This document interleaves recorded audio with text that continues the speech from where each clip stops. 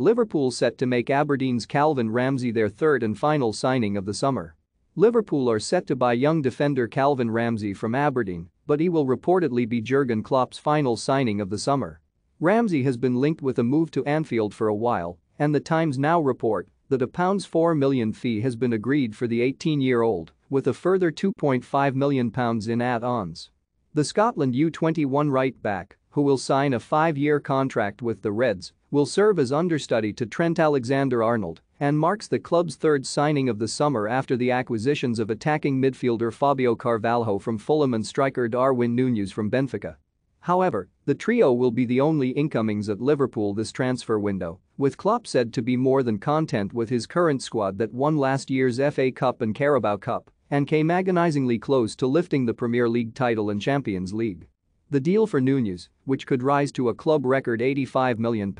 will likely have taken up the Reds' entire transfer budget, and while Klopp would like to add another central midfielder to his stacked roster, he is happy to wait until next summer to sign a big player rather than purchase a stopgap now. Dortmund's Jude Bellingham is likely to be top of his shortlist, especially after previous target Aurelien Tchouameni opted to join Real Madrid and the England international has already stated that he will be staying in the Bundesliga for next season. Luis Suarez sends message to Darwin Núñez after completing Liverpool transfer Real Madrid prepare £78 million deal to beat Man United and Liverpool to England star Liverpool hero admits Darwin Núñez could flop like Chelsea duo Ramsey's arrival may not conclude all the business at Anfield however, with several high-profile Liverpool players expected to leave before the end of August. The club are currently negotiating with Bayern Munich over the sale of Sadio Mane, who expressed his desire to seek a new challenge at the end of last season. Takumi Minamino and Alex Oxlade-Chamberlain will also be allowed to leave, while Divock Origi and Loris Karius have already headed out the exit door after their contracts expired.